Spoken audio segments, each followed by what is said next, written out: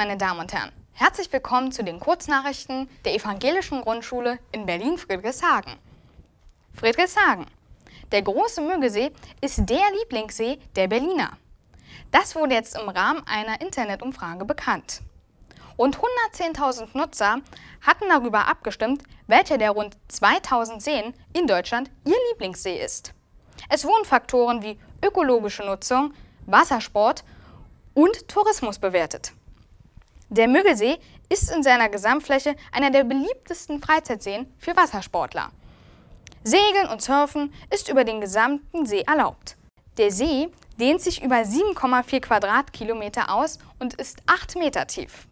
Zur Abgrenzung von dem mit ihm verbundenen, nur 15 Hektar großen kleinen Müggelsee wird er als großer Müggelsee bezeichnet. Der Müggelsee gehört zum Berliner Bezirk Treptow-Köpenick. Die Ortsteile Köpenick, Friedrichshagen, Ransdorf und Müggelheim teilen sich den See untereinander auf. Das waren die Kurznachrichten der Evangelischen Grundschule in Berlin-Friedrichshagen. Auf Wiedersehen!